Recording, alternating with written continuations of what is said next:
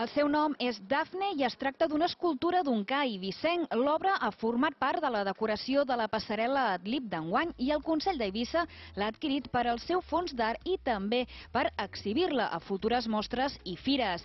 Ha estat creada per Andreu Moreno i pintada per Mauricio Boscheri.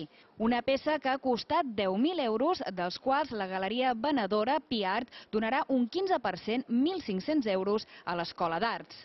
L'equip de govern explica que és un símbol de creativitat i un atractiu pels actes.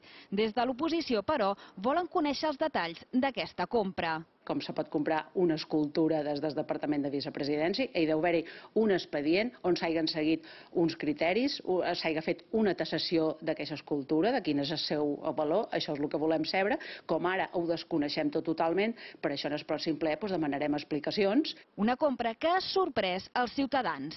Me gusta el arte, es bonito el Podenco, pero creo que es desproporcionado, 10.000 euros, ¿no? Para, para en el estado que estamos hoy en día. M'agraden els cants, però vamos, crec que no és necessari que s'hagin gastat tants de sous amb això quan hi ha molta falta d'altres coses.